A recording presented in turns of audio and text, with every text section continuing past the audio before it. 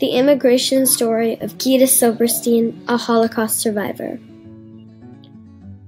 The Holocaust was at a time when Germany had just lost the First World War, and they wanted to get back on their feet, so they started blaming the Jews.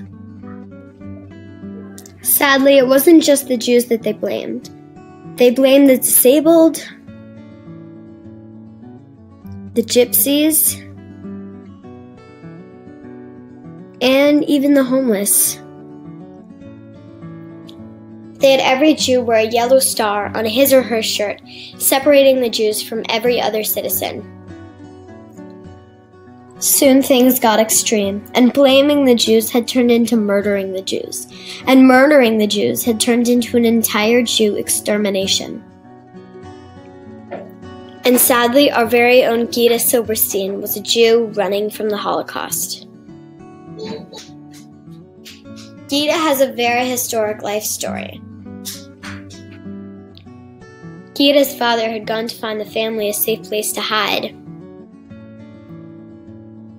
but never returned. After her father's death, Gita and her mom decided to hide out in her neighbor's house. Sadly, later, Gita and her mother were kicked out because Gita was playing with girls with blonde hair, but Gita had brown hair, so people got suspicious. Gita's mother hid Gita in a convent so that it only looked like she was Catholic and then fled the country.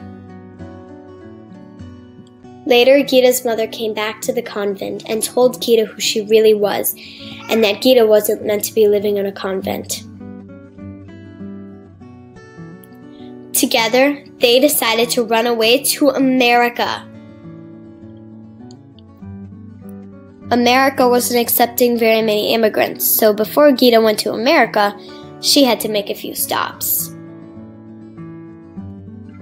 Gita's first stop was in Paris, France.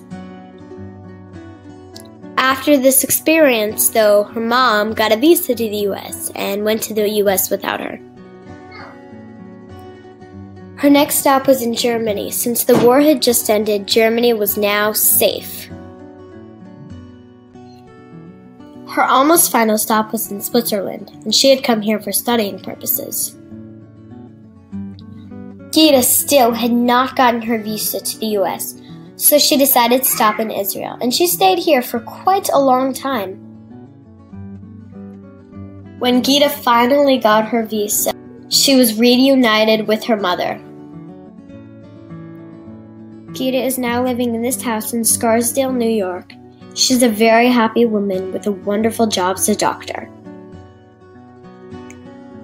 For more information, go to my blog at http colon slash slash blogs.scarsdaleschools.org slash lrosenthal 26 slash.